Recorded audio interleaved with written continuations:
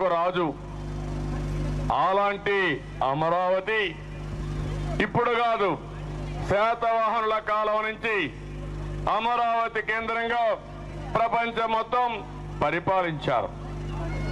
అలాంటి అమరావతి ఇప్పుడు కూడా బ్రిటిష్ ల్యాబ్ ఇదైతే మ్యూజియంలో అమరావతి ఎగ్జిబిషన్ ఉంది. మామూలుగా కాదు ప్రపంచంలోని అతి ప్రాచీనమైన రెండు నాగరికతలుంటే ఆ నాగరికతలో మన అమరావతి ఒకటంటే నేను గర్వపడుతున్నా అది అమరావతి శక్తి సామర్థ్యం అని చెప్పి కూడా నేను మీకు తెలియజేస్తున్నా. నేను ఇప్పుడు అడుగుతున్నా మిమ్మల్ందరినీ అమరావతిని మార్చడం మంచిదా తమ్ముళ్ళు అని మిమ్మల్ని అడుగుతున్నా ఆడబిడ్డల్ని. ఎందుకు మార్చారని మిమ్మల్ని అడుగుతున్నా?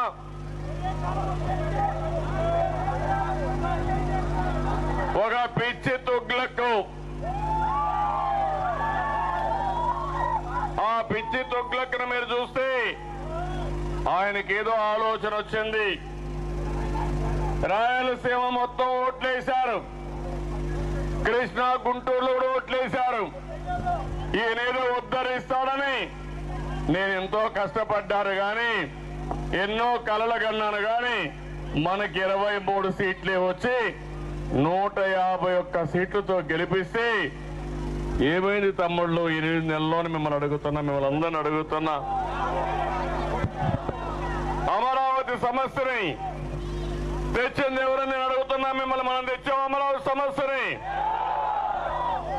ఈ రాష్ట్రాన్ని అభివృద్ధి చేయాలనుకోవడం నా తప్ప అని మిమ్మల్ని అందరిని అడుగుతున్నా. మీ కళ్ళ ముందర పుట్టా మీ కళ్ళ ముందర పెరిగా మీ కళ్ళ ముందర రాజకీయం చేశా. ఒకప్పుడు నేను స్టూడెంట్గా ఉంటే ప్రతిరోజు ఈ రోడ్లోనే తిరిగా ఈ రోజు జోలి పట్టుకుని అమరావతి కోసం డబ్బులు అడిగా. ప్రతిరోజు యూనివర్సిటీ నుంచి నేరుగా ఈ రోడ్లు ఇక్కడ దాకా వచ్చి అవసరమైతే ఇంకా కింది వరకు వెళ్ళి మళ్ళీ పై హాస్టల్కి వెళ్ళేవాళ్ళం. ఈ రోజు ఉదయం నుంచి మీరు చూశారు డ్రామాలన్నీ. ఏం తమ్ముళ్ళు చూశారా? అమర్నాథ్ రెడ్డిని అవసరం సుగుణమ్మ ఇంట్లో అరెస్టు. ఇంకో పక్క అందరు నాయకుల్ని నరసింహ యాదవ్ ఇంట్లో అరెస్టు. కడాన నాని మాత్రం బయట తిరిగి సమయానికి వచ్చాడు. ఉదయం నుంచి లీకుల మీద లీకులు. ఏంటా లీకులంటే నన్ను హైదరాబాద్లోనే అరెస్ట్ చేస్తారని ఎయిర్పోర్ట్లోనే అరెస్ట్ చేస్తారని ఇక్కడికి రాని అంటే ఈ ప్రభుత్వం ఈ పోలీసులు ఏమనుకుంటున్నారు నాకైతే అర్థం కావడంలా? తమ్ముళ్ళు ఎవరి కోసం నేను పోరాడుతున్నానని మిమ్మల్ని అడుగుతున్న నా కోసమా నా పోరాటం?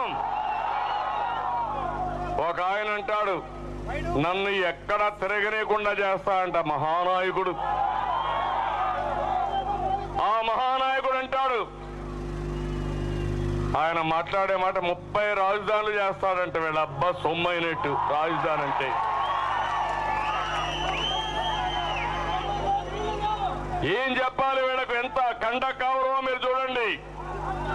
రాజధాని అంటే అపహాస్యమా మీకు? లెక్కలేనితనమా మీకు? మీరేం చేశారు? దోచుకున్నారు తప్ప మీరేం చేశారు ఈ రాష్ట్రానికి అని అడుగుతున్నా. దోచుకున్నారు. సిగ్గు కూడా లేకుండా నిన్న కూడా సిబిఐ కోర్టుకు పోయిన మీ నాయకుడు చూసి సిగ్గుపడాలా మీరందరూ? అలాంటి వ్యక్తి నేను వ్యక్తిగత విషయాలు కూడా పోను. నేను అడుగుతున్నా ఇప్పుడు ఎందుకు రాజధాని మారుస్తారని అడుగుతున్నా? సమాధానం చెప్పమని అడుగుతున్నా? తమ్ముళ్ళు ఆ రాజధాని మునిగిపోతుందంట. నాగరికత ఎక్కడ తెలిసిన తమ్ముళ్ళు? నీళ్ళుండేది ఎక్కడనే నాగరికత కదా అవునా కాదా? చరిత్ర చదువుకున్నావా లేదా? ఈ చరిత్రహీనులకి చరిత్ర కూడా తెలియదు. ఎక్కడ నాగరికత తెలిసిందో?